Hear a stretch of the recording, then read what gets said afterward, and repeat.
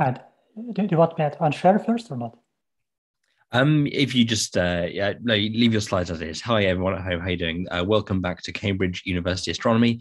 Um, we have a double bill this evening of a uh, nice talk about some ongoing research from one of our astronomers, followed by some stargazing. Fingers very much crossed. Uh, the clouds are a bit patchy, but our observers, uh, as of a few minutes ago, were looking at a very wobbly Jupiter. Um, so yes, all things being well, we'll go over to some stargazing after the talk. Uh, first up, though, we have Eugene Vasiliev, postdoc at the Institute of Astronomy, Cambridge, who's going to be telling us all about galactic archaeology with stellar streams. So over to you, Eugene. Thank you. Welcome, everybody. Today, indeed, we are going to talk about uh, these things which are called galactic archaeology and stellar streams. As shown on this picture, it's more probably about uh, some sort of galactic fossils. So strictly speaking, maybe it's paleontology rather than archaeology, but that's the term that is being used in, in the community in the last uh, couple of decades. Because indeed, the galactic archaeology is rather a new field, and it only came into being maybe in the last 20 years or so. And because of that, there aren't really nice pictures showing apart from this, some dubious sci-fi uh, and uh, some dilapidated uh, uh whatever uh, steamship. But the real field is about uh, something that is, of course, related to stars. And mostly I will be talking about the Milky Way today. So when we look in the sky, we, of course, see many stars. But as scientists, we are not only there to admire stars, but also to explore their properties, measure some quantities. And there are many things that we can learn about uh, each individual star. For example, we could try to measure its mass or size or luminosity or color and perhaps some other things that are of interest to other people. But uh, these quantities are not uh, a permanent property of a star because uh, uh size and luminosity and uh, temperature change with time as the star evolves. And the mass is more or less a fixed quantity, but the stars have a variety of masses. And uh, in a given population, there will be a big spectrum of masses. I mean, there will be many stars that are relatively light and a few that are heavier, but that, that tells nothing about where they come from. Instead, what we are focusing in the galactic archaeology field are rather properties of stellar populations. And by that, I mean something that is uh, not a specific uh, feature of one star, but of a whole ensemble of stars that have been born together and brought up into our galaxy as a whole. Um, so these would be age or the formation time, chemical composition, because stars do have different chemical properties, and uh, also orbits in the galaxy, because that's something that may change with time, but also might, like much like uh, chemical composition is something innate to a given star and to entire stellar population. So galactic archaeology is about finding these individual stellar populations, these kind of building blocks in our galaxy, and exploring their origin and uh, determining what, what the galaxy is about from these building blocks. So uh, I, to start with, I'll play a movie uh, you probably have, many of you might have seen these kind of movies uh, every now and then. These are simulations of galaxy formation. In this particular case, I'm playing a movie uh, from our colleagues in Sweden called the specific simulation aimed at reproducing the properties of the Milky Way and the local group, the neighborhood of the Milky Way.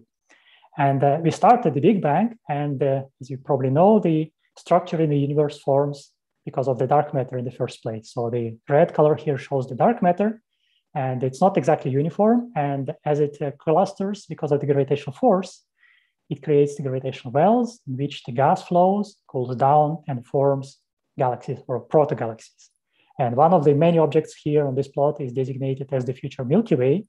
As you see so far, it's rather a messy environment. Early in the universe, there were many clumps that were falling around, merging together, and the Milky Way did not come into being as a single entity right away, but it was composed of many small building blocks that were accreted over time.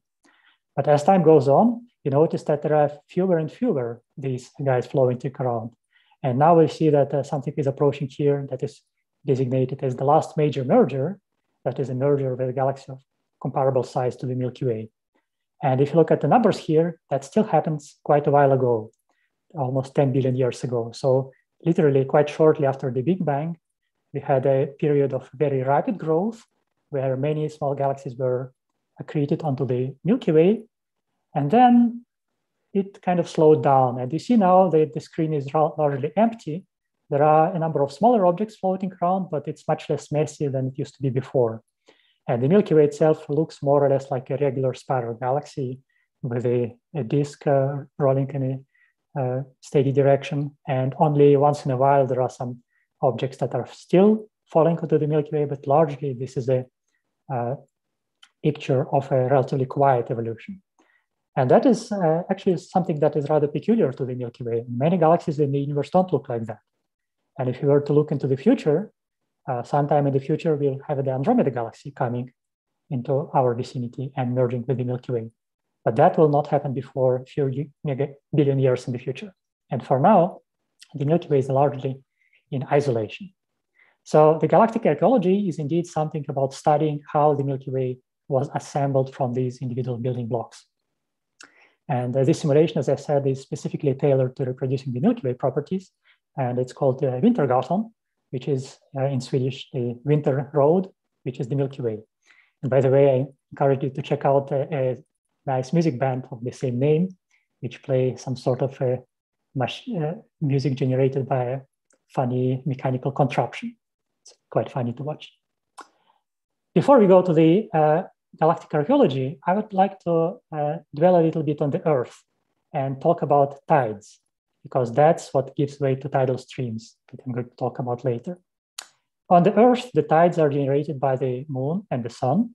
The tides from the moon are slightly more important, but for the purpose of this talk, I'm going to focus on the tides exerted by the sun. And they come about because the gravitational field of the sun is not uniform. It's stronger when you go closer to the sun.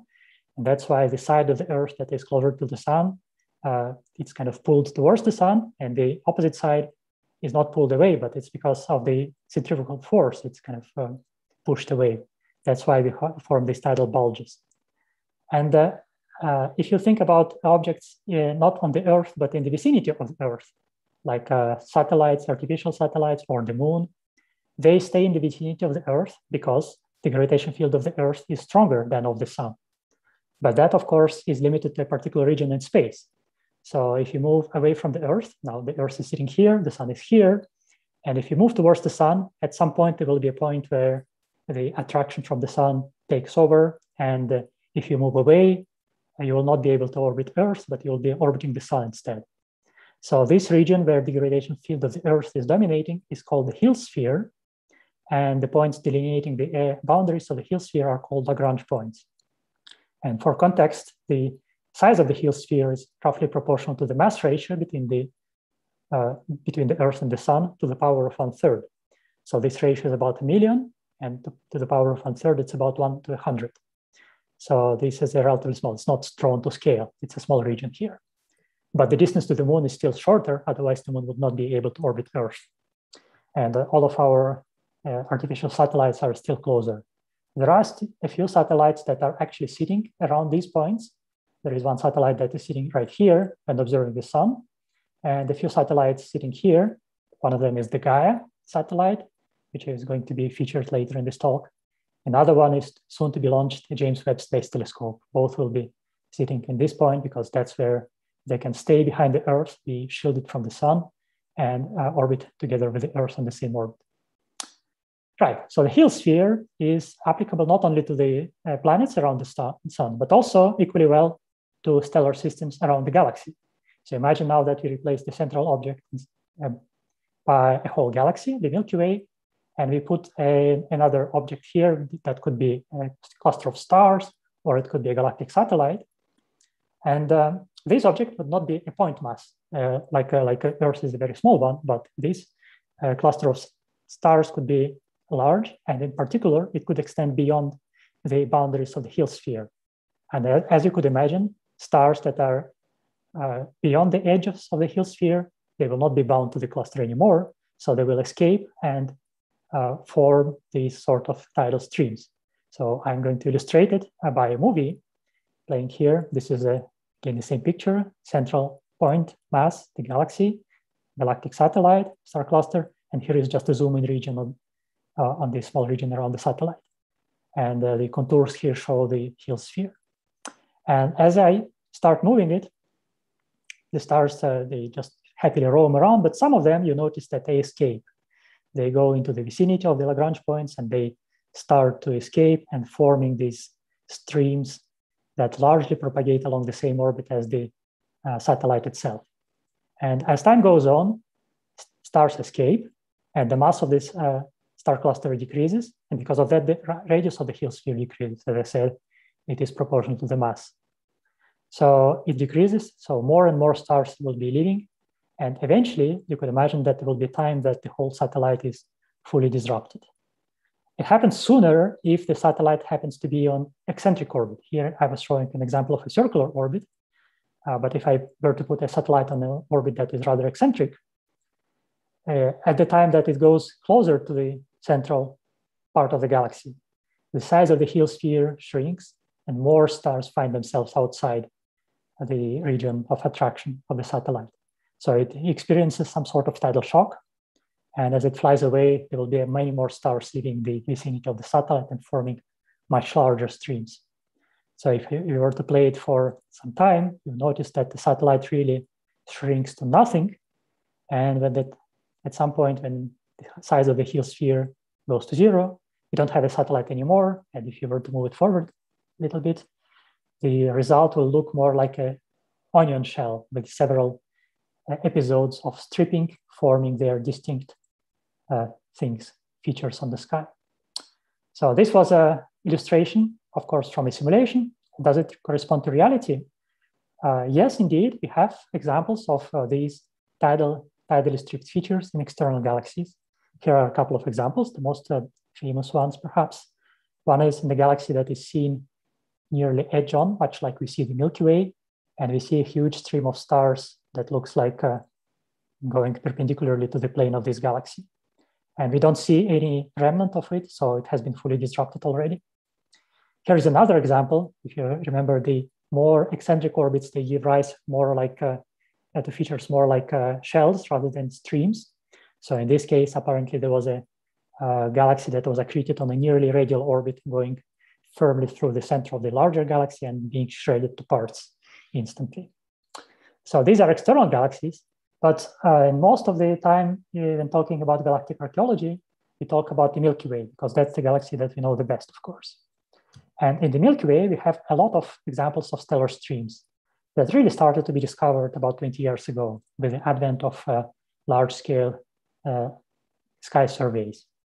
And uh, here is an example of a stellar stream emanating from a globular cluster called Palomar 5. Uh, the discovery paper, it's not really very impressive if you take it face value. Well, there is a cluster and you could see that there are some other densities in this direction.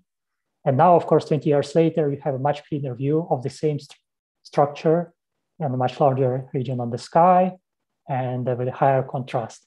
So this is a prime example of a cluster that is shedding off stars, but is not fully disrupted yet. Here is another example showing a large field of the sky uh, that was observed by the SDSS survey. And in fact, this picture was produced here at the Institute of Astronomy by one of our colleagues.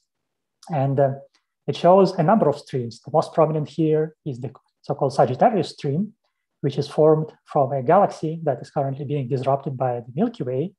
It's uh, our closest satellite and one of the most massive satellites and it really lives last days of its life because it's being uh, tidally stripped for the last few billion years, and uh, it, uh, it, forms a huge stream on the sky. But you see also there are smaller streaks all across this picture. So indeed, the sky is full of these features.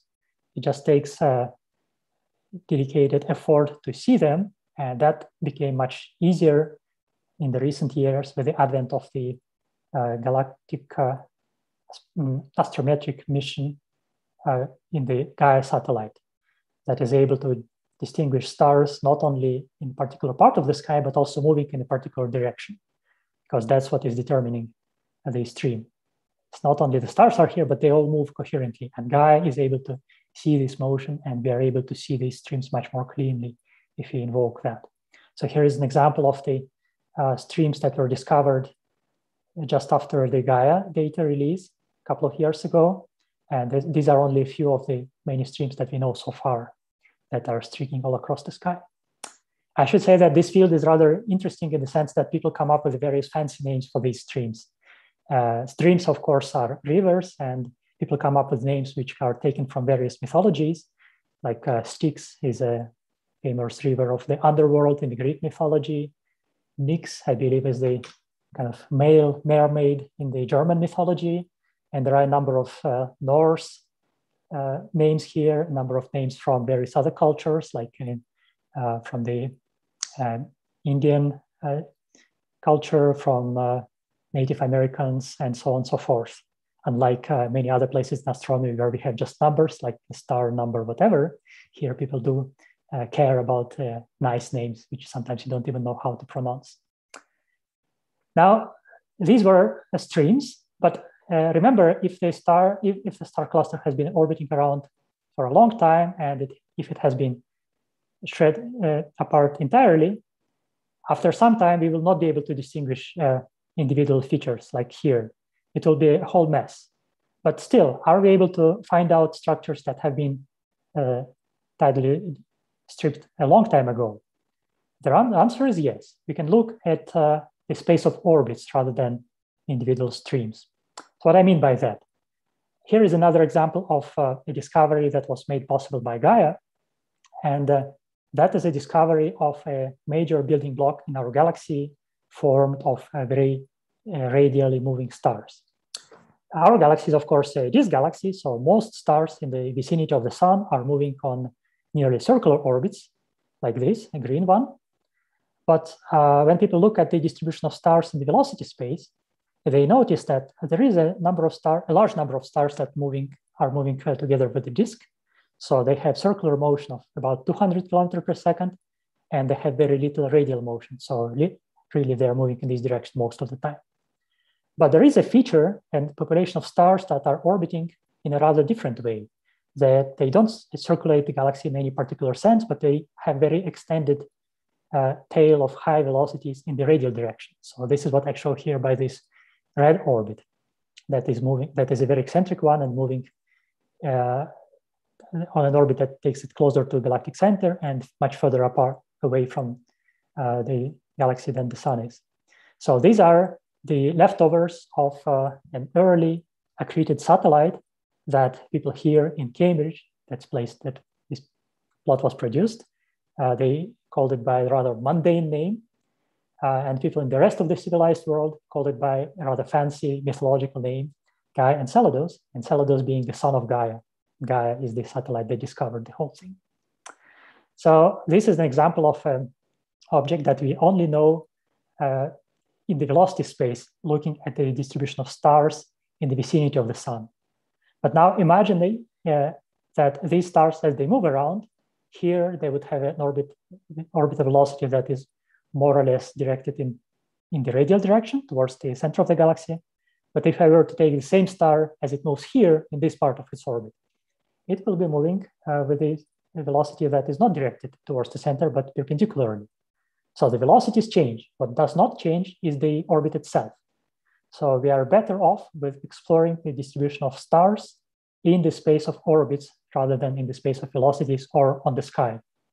And uh, orbits are parameterized by a few key quantities like uh, the size of the orbit, the eccentricity of the orbit. So here the circular orbit has a eccentricity zero, and the orbit that is very close to radial has eccentricity of one, and inclination with respect to galactic plane.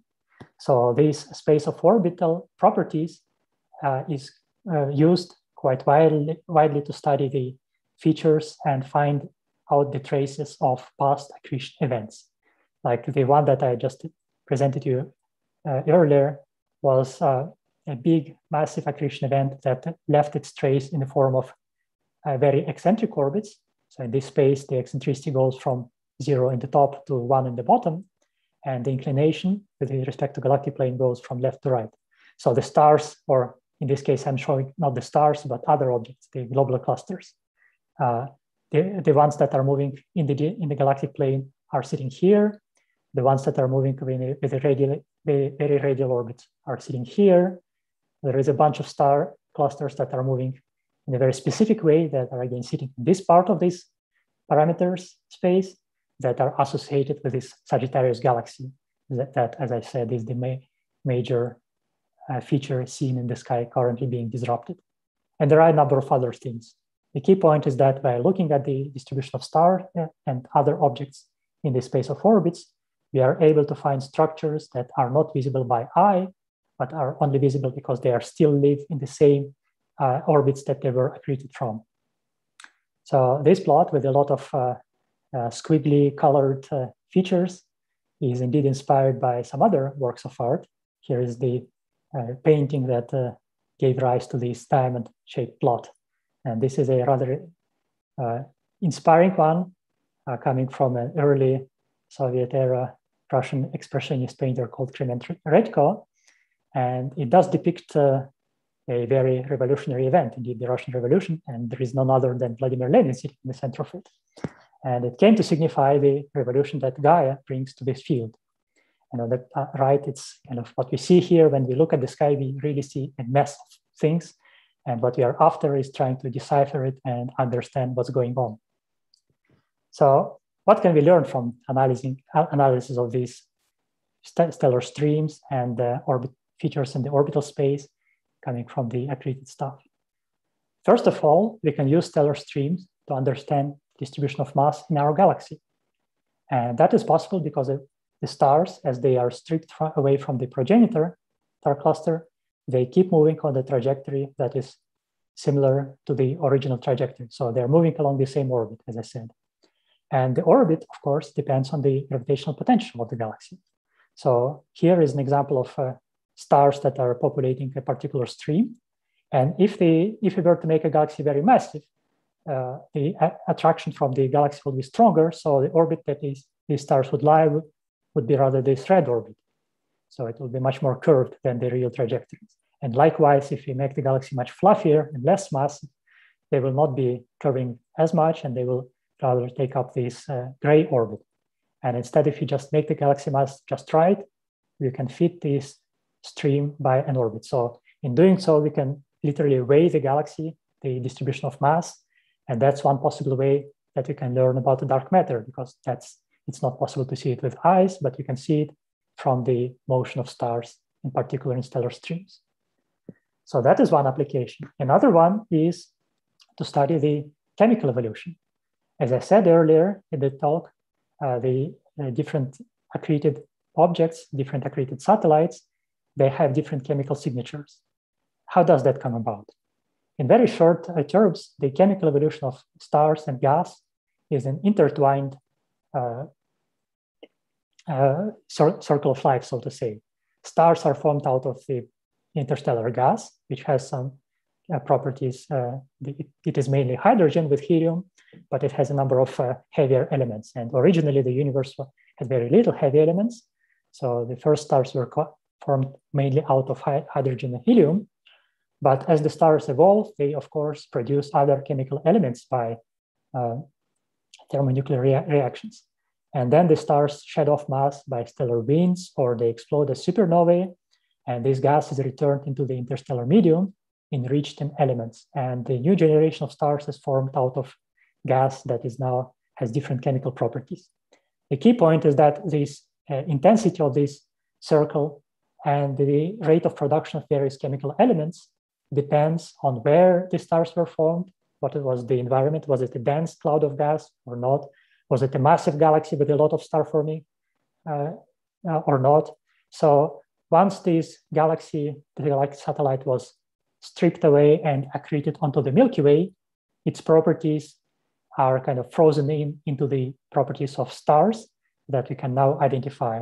So it's like uh, finding uh, some uh, scattered uh, shards of, uh, of a pot or a flask and trying to assemble back the flask. And by looking at the chemical properties, not only we see the shape of the flask, but we can also learn about what was inside, kind of wine was in. And uh, of course, in doing so, assembling these different chemical uh, properties into different building blocks, we can learn about how our galaxy was assembled, uh, how many accreted uh, galactic satellites did it have, when did it happen, how early in the universe, and so on. So this is what we learned so far. This is a brief history of their Milky Way as found by these galactic archaeology studies. Starting from the Big Bang, which was about 13.7 billion years ago, the galaxy first, as I said, uh, was living in a very uh, turbulent neighborhood. It was accreting a lot of smaller objects early in, the, in its life. And the largest last, ma last uh, major merger came about 10 billion years ago. This is this object with a dual name. And have been a, a number of similar events occurring roughly at the same time. But since then, most of the time the galaxy was kind of living in a uh, calm and in calmness and prosperity. And uh, nothing really happened. There were few smaller things like the Sagittarius galaxy that were swallowed in between, but these are rather mosquitoes. However, just like a Victorian era comes to a rapid abrupt end, so does our time of isolation of the Milky Way. And uh, what we are having now is a rather major event that is ongoing. This is the merger of the, of the Milky Way with the Magellanic Clouds, which are the largest satellites. And uh, this is a major thing that is probably of a similar scale that the merger that you had before, but it just starts to unfold because the Magellanic Clouds are just recently came into the interaction with the Milky Way. But that's a story for another day. And I'll stop here. Thank you. Wonderful, Eugene. Thank you so much. It's really, really fascinating. Um, so if anyone has any questions uh, for our speaker, please uh, pop them down there in the chat box, and I will uh, I will make sure he sees them. Um, one quick question, now, just out of interest, how how many because the, these collisions are often little dwarf satellites of our Milky Way. How how many smaller dwarf galaxies does a big galaxy like our Milky Way generally have? Uh, you mean uh, how many did it already swallow, or how many are still remaining? How, how, many are there in total? Because I was going to ask you a follow up question because I know there's a bit of a question about how many satellite galaxies there are around big galaxies when it comes mm-hmm. to dark matter, right? Because I think there are some theories that suggest there should be absolutely loads of satellites, and when we look, yes. we don't really see as many as we think we should. Um, mm-hmm. I don't know if you could talk about that for a moment. Yeah, so I think uh, uh, we could expect that the Milky Way has swallowed uh, dozens of smaller objects.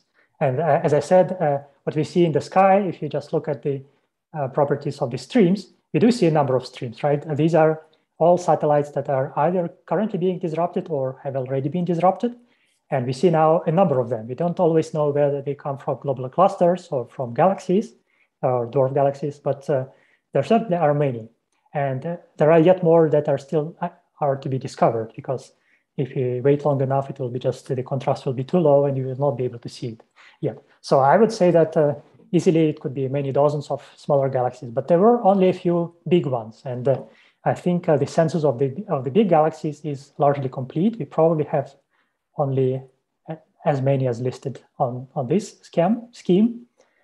Uh, so that is to say maybe a handful. Okay, there's a question from YouTube. Um, I, I, think I understand the question. Um, let me know if I misinterpret this. Um, so the, the question is, why aren't there planetary streams in the formation of the solar system? And I guess I guess the question is, mm-hmm. we have you know because planets form the physics of a solar system forming is pretty similar to the physics of a galaxy yes. mm-hmm. disk. Why don't you have little mini mini satellite solar system things crashing into our solar system disk when it's forming? Mm-hmm. Well, actually, we, we do have uh, things like that. These are, these are asteroids. And many of the asteroids, they do form some sort of streams. And in fact, I marked here the Lagrange points that are most useful for the sun, but there are also Lagrange points that are sitting here and here that are actually hosting satellites. And uh, um, well, you can't see them here, but believe me that there are satellites uh, that are occupying the same orbit as, this, as the Earth and similar satellites sitting around Jupiter. In case of Jupiter, they are actually called Trojans and Greeks, very uh, aptly and uh, they are essentially leftovers from the early uh, turbulent past of the solar system that are forming satellites, right? And if we, any of the planets somehow could be, I don't know, yeah, you, you could imagine that if, for instance, if a, uh, in the early, early in the solar system history, planets and planetesimals would frequently collide with each other, and any such collision would produce a cloud of points, and then eventually those points will be forming uh, rings, and that's what we see in the protoplanetary disks around other stars. Yeah, wonderful question. Uh, sorry, that, that was a question from Ian Lewin. Uh, I should have said thank you, Ian, for that question. Um, and thank you, Eugene, for such a wonderful talk. It's really fascinating to see. I, I absolutely love those pictures of the, that that rainbow sky full of all those stars uh, crashing into our galaxy. It's pretty remarkable stuff. Um, so yes, thank you to uh, Dr. Eugene Vasiliev uh, for that. Um, we are now going to hopefully switch over to some stargazing. How's the sky looking, guys? Right, uh, we'll we'll go over to David first and uh, see how we're doing. Okay. How is, is it clear out there? Um, David is in uh, in Barton. Can you see? And and we can see the fireworks galaxy. This is quite quite a difficult galaxy to see because it's so close to the Milky Way. So we see a lot of foreground stars, and there's a lot of gas and dust obscuring our view. But you can certainly see the spiral structure. And this is a, a very important galaxy. It's called the Fireworks Galaxy because there have been so many supernovae in occur in this galaxy. There's been 10 in 100 years. And you consider the Milky Way galaxy has one supernova in 100 years. So this galaxy's had more than any other galaxy uh, supernova in it. And uh, and that's despite the fact it's quite a small galaxy. It's about half the size of the Milky Way. As well as a lot of supernovae, there are uh, uh, also a huge amount of star formation going on in this galaxy, so much so that it's been classified as an active starburst galaxy. And another reason it's uh, so important, this galaxy, is that um, uh, uh, several years ago, the Large Binocular Telescope in Arizona, currently the largest telescope, optical telescope in the world, was studying this and about two dozen other galaxies, nearby galaxies, over a four year period, keeping a close eye on them. And in 2009, a star started to brighten in this galaxy. And of course, astronomers rubbed their hands and they, uh, they, they were going to have a front row seat of yet another supernova. And they watched this supernova in this galaxy. And it, although it brightened considerably, it wasn't bright enough to be a supernova. And then it started to fade and it disappeared from view. And not even the Hubble Space Telescope could see it. And astronomers thought that maybe a cloud of gas and dust was obscuring uh, our view of the supernova. So they called on the services of the Spitzer Space Telescope, which was then working. Although it's smaller than the Hubble Space Telescope, it has is very sensitive in the far infrared, and it would be able to see through any gas and dust. It looked and it couldn't find any sign of this star. The star had simply gone from a red giant and collapsed directly into a black hole, a failed supernova. It's the first and only one to be observed so far. So this is why this, this particular galaxy is important. Now it's thought that many really massive stars go from a dying red giant to uh, a black hole and miss out the bright uh, supernova bit. So it's a, it's a, a lovely tale about this galaxy. And because we're live, you'll see often the image might dim a bit if we get clouds. So bear with us we are dodging clouds. That's a cracking view, David. Thank you. Um, also of interest, possibly, is just off to the top corner is a lovely open cluster. Yeah, yeah that's uh, that's a that's a good view. Yeah. Yes. Uh, we'll be cover- covering a couple of open clusters later in the tour if the clouds there's, allow. There's both of them in the same in the same field of view. Yeah, that's good. And of course, the, that, that cluster is in our own Milky Way. Good. Okay, thanks, David. And now we'll head to uh, Jonathan in Chesterton. What's it Hello like? there. Hiya. What's it like in there? Um, it's it's not as good as it was, but it's still okay. I'm standing. You can see my machine here. I don't usually have the lights on, but I thought people might like to have a quick look at this thing. So it, And what we've managed to do is photograph the Dumbbell Nebula. So I'll just share my screen for that. There you go. that's brilliant. And this this telescope, unlike all the other telescopes in the observatories we see, will practically fit in a shoebox. So it's it's it's a very versatile instrument. And this is the death, not a supernova. This is a death of a dwarf star. And dwarf stars are about the size of the sun, maybe up to about eight solar masses. So these stars die not in a spectacular supernova explosion. As the star runs out of nuclear fuel, it will gradually expand into a red giant and then puff off its outer layers. And we can see the layers have been puffed off. Um, and if we look carefully, Jonathan will point out the white dwarf in the middle of it. Yeah, there it is. Good. And that's all that's left of this star. Uh, it's about half a solar mass and it's very hot. It's about 85,000 degrees when you consider the sun is just uh, 6,000 or so. Um, and this star will now spend the rest of eternity cooling down, while the cloud of material that it's thrown off will carry on expanding and gradually getting fainter and fainter. It's expanding at about 30 kilometers a second. And that field of view you're looking at, the, the actual diameter of the expanding gas cloud is about three light years across. So if you do the sums, this star shed that material about 10,000 years ago. So it's been gradually expanding for all that time.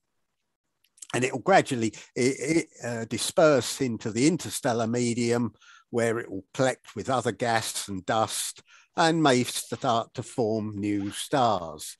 So that's a, that's a, a lovely view. And we can see the colors. We've got the pinky colors around the, the outside, and that's Yeah.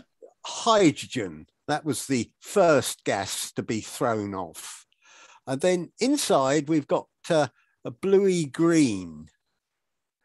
And that's, that's uh, uh, due to oxygen and nitrogen being thrown off. So even we though can this, just start. We can just start to see a little bit out of the sides here, but it's, Yes, it's but- only it's only been photographed for half the time it usually likes to have. yeah, and, and you've got some slight haze, I think, haven't you? Yeah, You've got yeah. a little, little bit of high cloud, but Yeah. th- that's a good that's a good shot. And this is a remarkable telescope. Good. Yep, it's it's all driven by by app an app on my phone. I'll stop sharing that. I just thought people might quite like to see me press the button to go to our next target, Yeah. and uh, off it goes. It's going to go and look for something else now. And we'll come back to you and see if you found it. As Yeah, I say, okay. this, this is a, a, a wee telescope compared to the other ones, but uh, it does a cracking job. Okay, many thanks, Jonathan. Right, All right. let's go on to Mick in Swaffham Prior. How are your weather conditions, Mick? The weather's okay, but the telescope isn't. It seems to be. Uh, I've not been able to get very much tonight. Oh, right. I started with cloud, tried to do an alignment, and it didn't work. And now I, I'm not. It's not working very well at all. So I haven't really got anything to show you. Oh, don't worry, not to worry. The, this is half the fun of uh, a live, a live uh, observing session. So don't worry, because we were going to look at a, a nice, colourful double star in Andromeda, a, a red star and a blue star that orbit each other. But So we'll try- we'll have a go at that next week if that's okay. Try, I'll try my best, but I'll try. Uh, no, don't worry, don't worry. These things happen. Goodness I gracious. used a different telescope tonight. And I haven't quite Okay. We'll we'll go Sorry. back to David if you're ready. David, Hello. have you found your next object? Yes, Good. Uh, Okay. I've only got a few frames on it, but No, let- that let's turn you on. Hang on. Yep.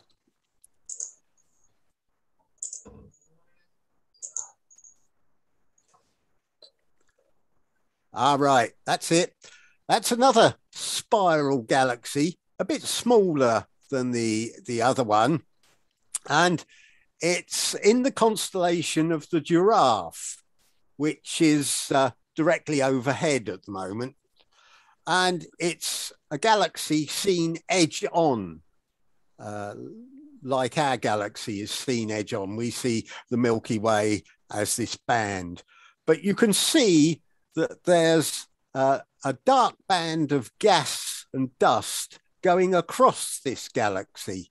And it's a spiral arm, it's gas and dust in a spiral arm. But this spiral arm is bent at 45 degrees due to an encounter with a smaller galaxy. If you can go to full screen, David, you should see the other small galaxy.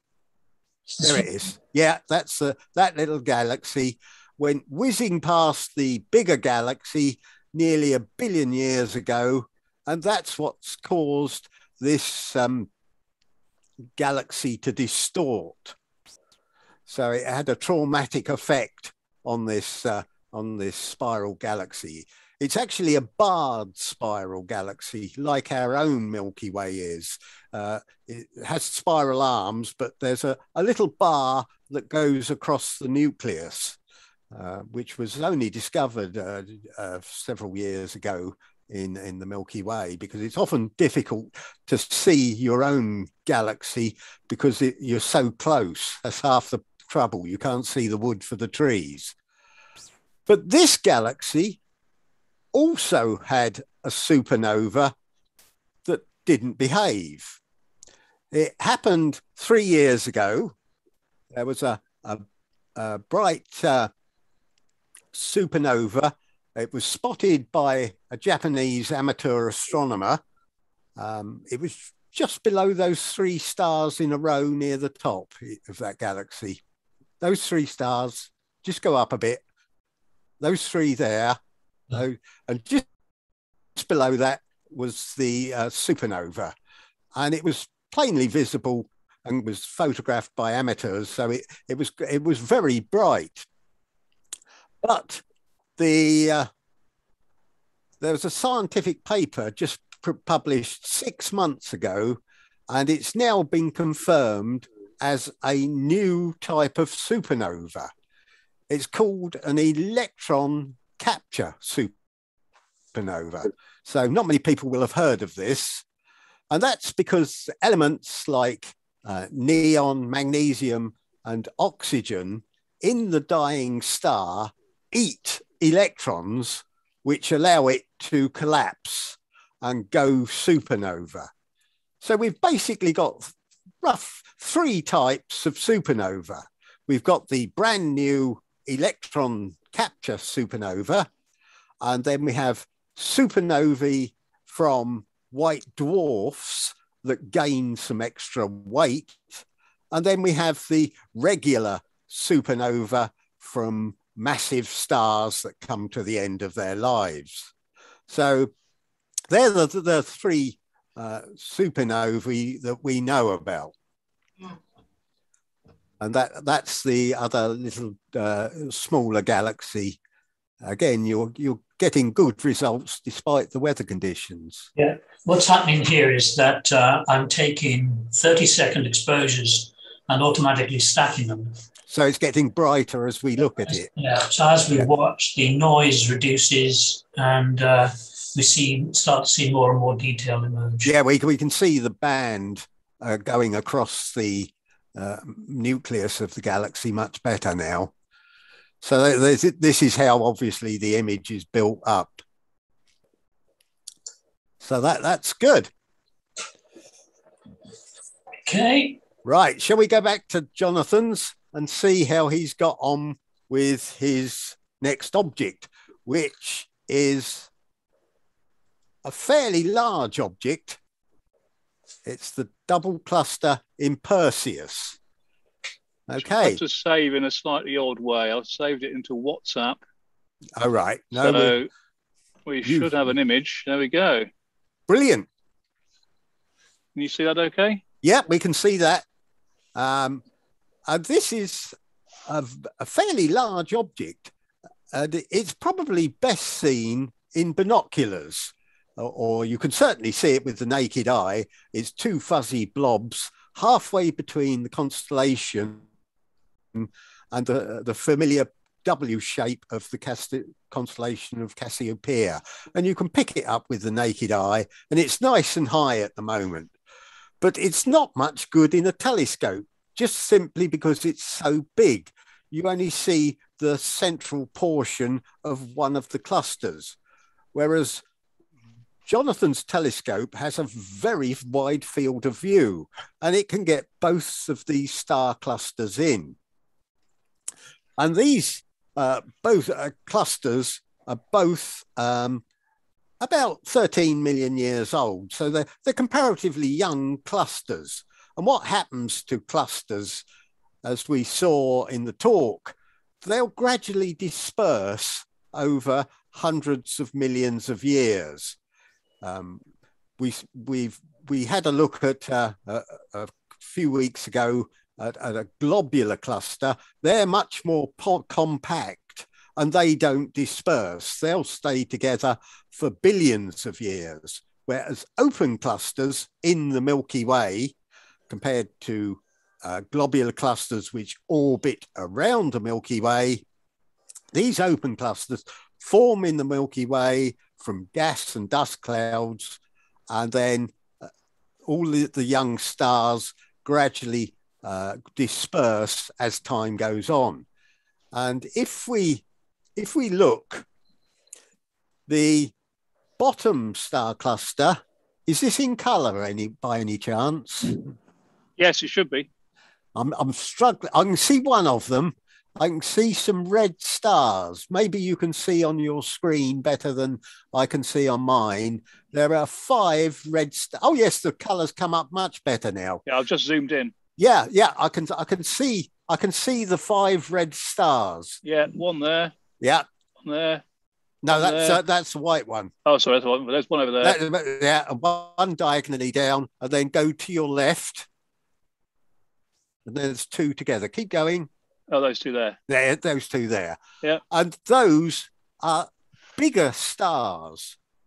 And they've used up their nuclear fuel and now turned into red giants and are in, in the process of dying. So the stars that form in the cluster are all different sizes. And the sad fact for giant stars is they live fast and die young they'll gallop through their nuclear fuel. And these five stars are the biggest. And of course, they're, they're now running on fumes, whereas all the rest of the stars are much smaller and are going to last uh, a lot longer. So that's uh, that, that bright one, that bright star you showed. Uh, go left. That one. Keep going left to the white star that you oh. pointed to. Oh, is that one over there? No, uh, to the left. Oh, further left. Yeah. That one. Oh yeah, yeah. No, sorry, you were right. that that that that one. Yeah. Sorry, I was looking. I got my mouse on your screen. ah. that, that's a, that's a fatal mistake. Right, that one is. Although it looks bright, is nothing to do with the star cluster. It's oh, pure, okay. pu- purely a line of sight job. So uh, uh, that's not part of the star cluster. Yeah, so I'll zoom out, and then that's the other star cluster over here. So yes, zoomed in, you get a lot more. Yeah, yeah, that, that's uh, they're both about the same age, but they're separated by about three hundred light years. So although they formed from the same gas cloud, there is uh, quite a difference in distance between them. So they're they're they're mostly uh, about 300 um, hot blue young stars in each cluster, uh, surrounded by many more uh, uh, smaller ones. So that's that's worth looking out for. It it doesn't have a fancy name. It's just uh, known as the double cluster in Perseus. Okay, what we'll do is we'll come to the end here because I've we... got 103 for you if you want. Okay, yeah, go to another cluster. Thank you. This was going to be one of Mick's, but Mick was is yeah, having trouble. It was on our list, but um... yeah, yeah. No, thanks for fishing that one out. Now this this one is twice as uh, old as the last cluster we saw, but although it's it's only got one large star uh, that's gone to a red giant, and it's that one in the middle. That's it. That's the only star that's been big enough. Although this cluster is twice as old as the previous cluster, there's only one turned into a red giant. So it's nowhere near as big as those other five stars that went, uh, those other five stars that went red giant in the other cluster. So these is a, a much smaller cluster. And they know there's about 40 stars in this cluster, but there's a problem. This cluster is moving through the galaxy as at the same rate as the background stars, because you normally tell uh, how which stars belong to a cluster because they all move together. But this these stars in this cluster are moving at the same rate as and the direction as the background stars. So astronomers don't really know how many stars are in this cluster. Um, uh, they, they know 40 at the moment, but there may, may be many more times. Some people are saying 180 or more. So, but that just shows one of the problems that astronomers have.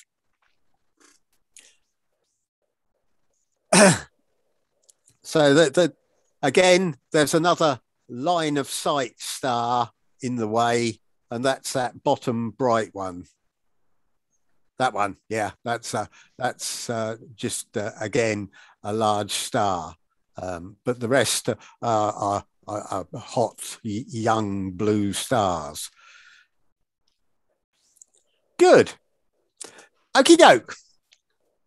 Thanks very much, and we'll stop there and hand back to Matt. I'll just say thank you to uh, observers and we'll have another go next week and pick up any more that we missed off our list tonight. Okay, so thanks to our observers, David, Mick, and Jonathan, and we'll hand over back to Matt. Wonderful. Uh, excuse me. And thank you to Brian as well. Uh, excellent commentary as always. Um, uh, and thank you to Dr. Eugene Vasiliev, um, who was our headline speaker. Um, so if you enjoyed it, come back next week. Uh, so this time next week, 7.15, we have a talk from Dr. Naomi Robinson, who's going to be telling us all about clusters of galaxies. See you then.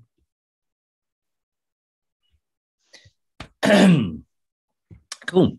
Bosch.